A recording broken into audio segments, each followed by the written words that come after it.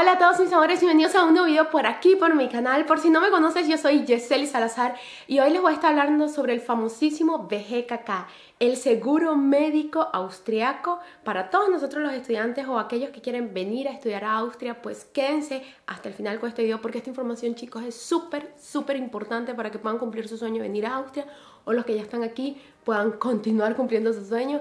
Así que bueno, quédense hasta el final. Antes no olviden suscribirse, activen esa campanita para que estén al día con toda esta info que es pero vital, súper importante para todos nosotros. Así que bueno, nada, ahora sí, vamos a comenzar. Ok, ¿qué es el BGKK? El BGKK vendría a ser el seguro médico que debemos sacar todos nosotros aquí en Austria. Esto lo sacan tanto los austriacos como los no austriacos, eh, los que trabajan, los que estudian, todos debemos tener un seguro médico de aquí, en términos generales, eh, para poder estar aquí. Antes nos permitían tener un seguro internacional, hasta el año pasado lo permitían, de hecho, ahora no. Si tú traes ya tu visa desde tu país, la visa austriaca de tu país, te permitieron sacar un seguro internacional, cuando llegas aquí es mejor que saques un seguro austriaco. Eh, tan pronto llegues puedes sacarlo. Y si no, cuando vas a renovar tu visa, lo sacas porque ya no están permitiendo eh, renovar visa ni sacar visa aquí con un seguro médico internacional. Entonces, en ese caso te van a pedir que saques un seguro médico de aquí, que sería el BGKK, o si no, si vas a sacar tu visa por primera vez aquí, no hay ningún problema, a ti te va a tocar sí o sí el BGKK. Entonces, el BGKK es súper fácil de sacar. Ustedes deben ir al BGKK más cercano de su sector, Suponte, yo vivo en el tercer distrito, en el Drite Besir, escriben en internet BGKK Drite Besir y te va a salir donde queda la sede. Ahí ustedes van a ir y de acuerdo a si son o no estudiantes ordinarios extraordinarios. Recuerden que los ordinarios son los que vienen a estudiar la carrera como tal, eh, ya directo. O sea, si van a hacer un bachelor, directo el bachelor máster, el director máster, música, música.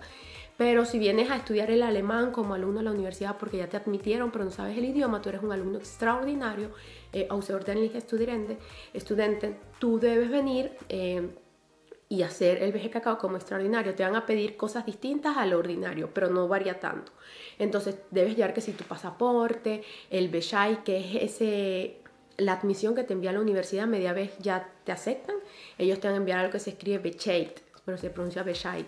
Eso debes imprimirlo y llevarlo. Te van a pedir también tu Studienblatt el Studienblatt y el Studienbestätigung, esto lo vas a necesitar también para la visa, tú lo descargas de tu cuenta personal de la universidad, media vez tú pagas en la uni todo, ellos ya te van a dar acceso a tu cuenta personal de la uni, es un perfil personal que tú tienes, de ahí tú vas a poder inscribir materias, descargar documentos personales como que la, admisión, no, la admisión no, eh, que si ya me, hace, ya me inscribí, este, ya pagué.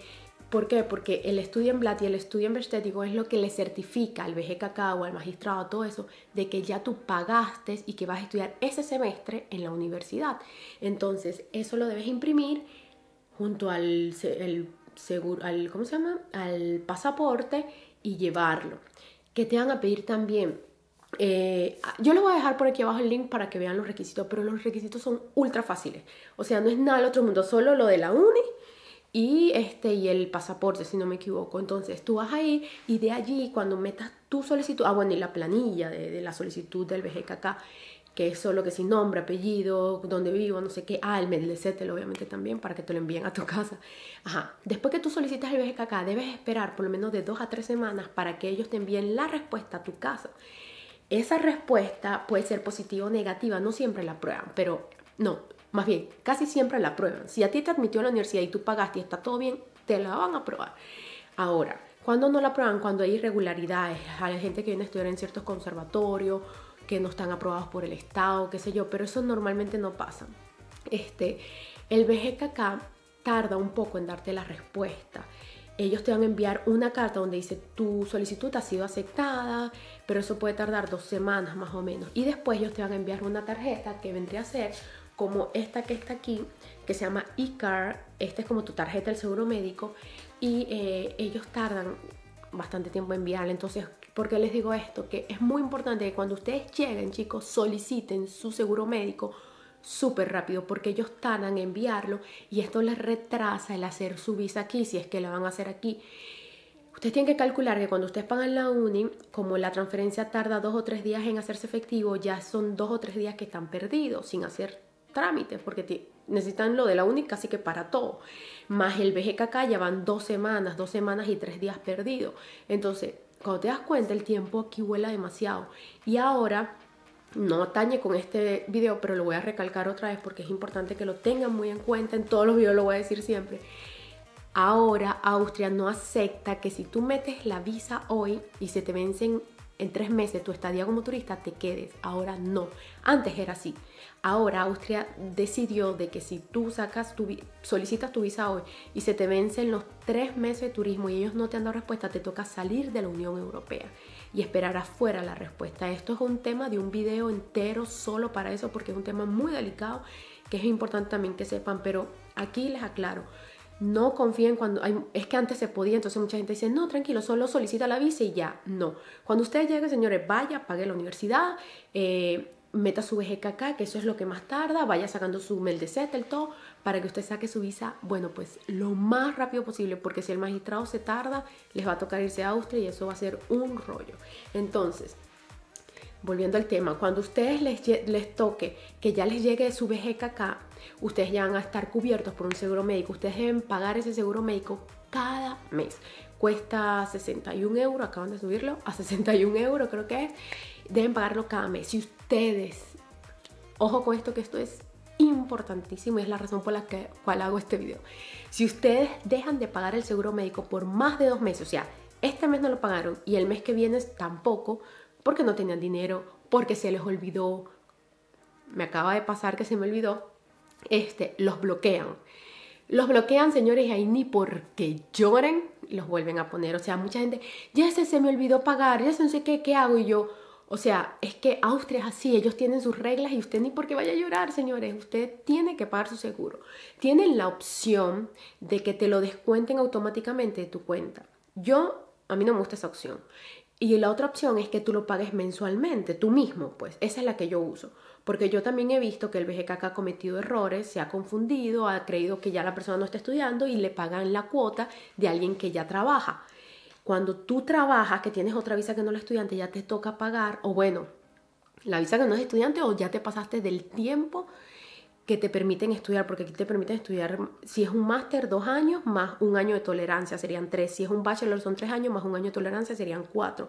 Si tú te pasas de ese término de estudio, de estudio ya el BGKK te empieza a cobrar la matrícula normal de una persona civil normal que no es estudiante, y son como 300 y pico de euros. Eso, también es súper importante que lo tengan en cuenta, no es que van a pasar la vida entera estudiando y ya no. Y pagar BGKK estudiante, te dan un límite. El punto es que he visto que cometen errores y le empiezan a pagar a, a, cobrar a la persona la cuota que no es de 400, que sea, y ellos no devuelven dinero. Entonces yo por eso dije, no, yo lo pago porque si se confunde mi hijo, a mí no me van a devolver esa plata, yo mejor lo pago. Pero ¿qué pasa? Si a ti se te olvida pagarlo, es importante que pongas una alarma cada mes porque a ti se te olvida pagarlo, ellos te bloquean. Te bloquean seis meses del seguro médico en la que no puedes acceder al seguro médico, no puedes volver a sacar el seguro médico ni renovarlo.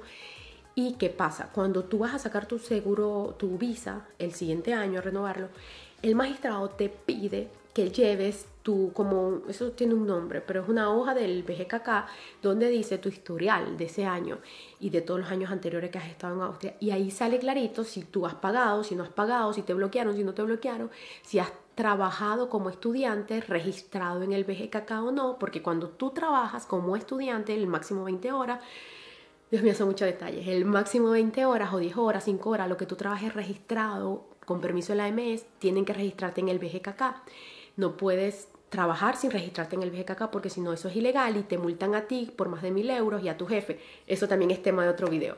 Pero ojo con eso, si van a trabajar y están legalmente registrados y todo, deben registrarse en el seguro y en el AMS, tener un permiso de la AMS. Entonces, todo eso les va a salir reflejado en el BGKK, en esa hoja que les va a dar el BGKK para renovar su visa. Cuando ustedes no pagan, les va a salir, ah, este no pagó, estuvo bloqueado seis meses. Y el magistrado puede decidir no darte tu visa, puede decidir muchísimas cosas, nada más por eso. Entonces, paguen su visa. Aparte que si les pasa algo en esos seis meses que están bloqueados, están sin seguro y aquí el médico es carísimo. El seguro médico cuesta aproximadamente 61 euros, lo acaban de subir. Cada año eh, lo suben un poco, hay que pagar una matrícula como de 10 euros en enero cada vez que comienza el año, como que por los gastos de mantenimiento y tal. Y el Estado se comunica contigo a través de tu casa. ¿Qué pasa? Si tú decides pagarlo por tu cuenta, ahora pusieron en estos días, me llegó la carta, donde dice que debes sacar una handy signatura. Eso es como suscribir tu número telefónico a una, al handy signatura, es como al BGKK, no sé, como a la institución para que puedas ver todo online. Porque ya el Estado no te va a estar enviando a tu casa los recibos de que pagues, porque ellos te envían, pague este recibo, pague este recibo. Cada tres meses te envían recitos para que pague. Ahora todo lo ves online y eso es súper fácil también. Vas al BGKK, lo solicitas, ellos te suscriben tu, tu, número telefónico a tu cuenta personal y ya a partir de ese número y tu clave vas a poder entrar online a ver cuánto debes, cómo va tu BGKK y eso. Entonces, es muy importante chicos que tengan en cuenta todo este tema del BGKK porque esto es súper importante. El BGKK realmente funciona aquí muy bien.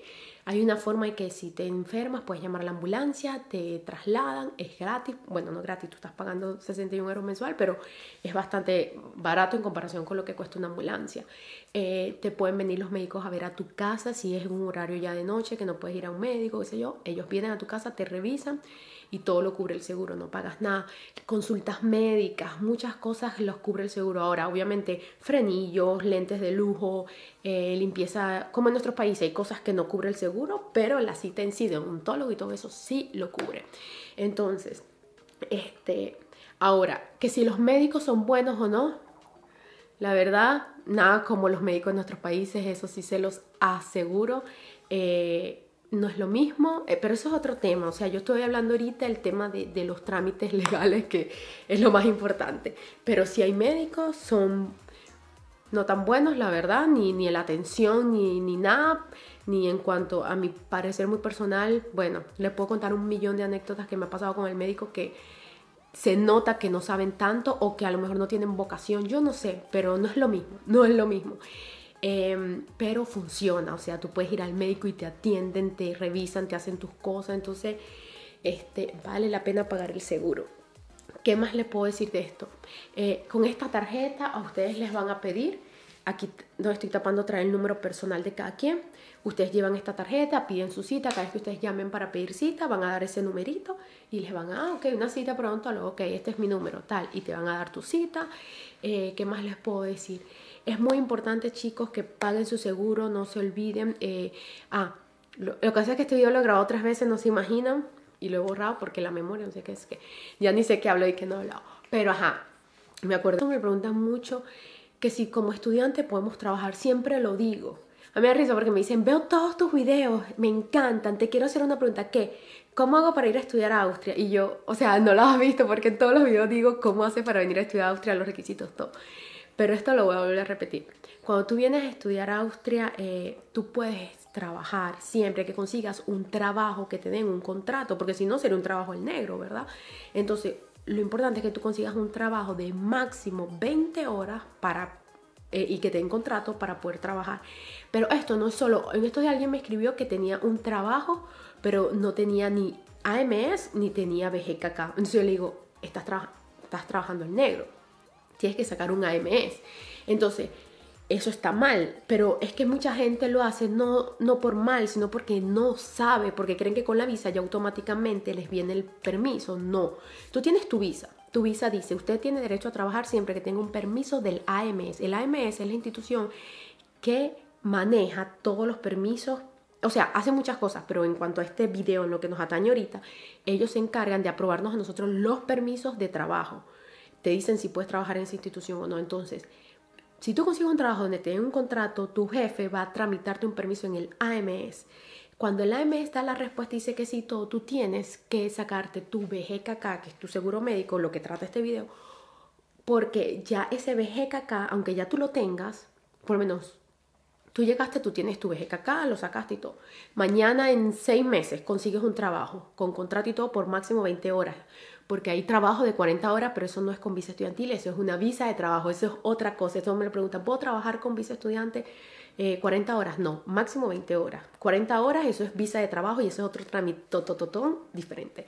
Entonces, cuando tú tengas tu visa y tú quieras, consigas un trabajo con contrato y todo, tu jefe te va a ahora lo debe tramitar el jefe. Antes lo podías tramitar tú mismo. Ahora piden que tu jefe, o sea, tu jefe sea el que te tramite tu permiso médico, tu, tu seguro médico. Bueno, sí, tu seguro médico y tu, tu permiso de trabajo en el AMS. O sea, entonces, cuando tú tengas tu permiso de la AMS que digan, sí, tú puedes trabajar ahí, en en la asociación de marketing, no sé qué, lo que sea, como se llama la empresa, tú debes estar ahora también inscrito en el BGKK. ¿Por qué? Porque el BGKK tiene una modalidad de estudiantes que trabajan. O sea, tú normalmente pagas un seguro de estudiante. Cuando ya tú entras a trabajar por máximo 10 o 20 horas o 10 horas, lo que sea, con contrato y todo, y tienes permiso en la mes, tú debes sacar ahora tu seguro médico como estudiante que trabaja. O sea, ¿cómo se hace? Vas al BGKK, llevas tu contrato, llevas ciertos requisitos que te pide el BGKK y solicitas cambiarte al de trabajador y ya. O sea, sí, incluso es como dos euros menos que el de estudiante normal. No es nada del otro mundo, lo único que eso quiere decir es que ya ellos están al tanto y saben que tú eres un estudiante que trabaja y el seguro médico, si a ti te pasa algo en el trabajo, te lo cubre ese seguro, ¿me entiendes? Por eso es importante que esté, si tú trabajas, estás con el AMS, tienes el permiso, pero no estás inscrito en el BGKK, cuando vayas a sacar tu visa, te la niegan, multan, te multan a ti, multan al jefe. Bueno, tengo un amigo que le pasó y fue horrible, obviamente lo botaron del trabajo porque multaron al jefe por, por mil y pico de euros porque lo registraron en el AMS, pero no le sacaron el seguro médico como trabajador él tenía el suyo de estudiante y fue un rollo. Entonces, Dios mío, yo sé que esto es bastante información, pero es muy importante. Yo todo lo que me recuerdo se lo voy soltando porque hay muchas cosas que ignoramos como extranjeros, hay muchas cosas que nadie nos cuenta, hay muchas cosas que tú quieres preguntarle a la gente. A mí me pasa, yo que hago videos, yo a veces pregunto cosas en mi Instagram o qué sé yo a la gente y la gente odiosamente no me da respuesta de nada, no quiere informarte nada y yo digo, wow, cuánto egoísmo y cuánta, a veces siento que hasta es por maldad porque como que quieren que les vaya mal. Y ahí me di cuenta cuánta falta de información hay en el mundo porque no es justo que a la gente le pasen las cosas mal cuando hay gente que sabe cómo deben hacerlo, como por ejemplo, si yo sé que todo esto existe, lo mejor es que yo se los informe para que no lo pasen y lo hagan bien. Entonces, en fin, este, ya saben chicos, esta, esta información es ultra importante, no sé cuánto dura el video, ni lo voy a ver porque si no lo borro y lo vuelvo a hacer. Así que nada, mejor esta información, todo lo que he dicho aquí es vital para todos ustedes. Eh, saquen su seguro médico tan pronto lleguen. Recuerden que si van a trabajar tienen que sacar el seguro médico ahora como estudiantes que trabajan. Eh, no olviden pagar su seguro médico cada mes porque si no los bloquean. Esas son tres cosas súper importantes. Tan pronto lleguen, sáquenlo para que saquen su visa, no se les retrase el tiempo. Eh, recuerden que si pueden trabajar, pero máximo 20 horas como estudiantes, porque si no, ya tienen que sacar una visa de trabajo por lo menos hubo alguien que me dijo, ay, yo trabajo 30 horas y yo, what, tú tienes permiso de estudiante, eh, de trabajo, y me dijo, no, de, de estudiante y yo, o sea, es delicado. Espero que esto les haya funcionado muy bien, esta información les sirva, pueden dejarme su comentario por aquí abajo, denle like a este video para llegar a muchas más personas, un comentario si sea, hola Giseli, gracias, lo que sea, este, síganme en mis redes sociales, por ahí me pueden escribir mejor al Instagram porque suelo responder más rápido, así que bueno, nada, los quiero mucho, sigan adelante con sus sueños, hagan las cosas bien chicos para que lo puedan cumplir y vernos por aquí. Estos días conocí un, un suscriptor demasiado lindo, le mando un saludo si me ve, él sabe quién es, eh, que ya llegó aquí a Austria, así que eso me tiene muy emocionada. Y ahorita llegan un pocotón de, de suscriptores nuevos a este canal, a Austria. Eh, eso me encanta, a estudiar en este nuevo semestre que empieza en marzo. Así que chicos, los veo muy pronto por acá. Los quiero mucho. Un besito. Chao.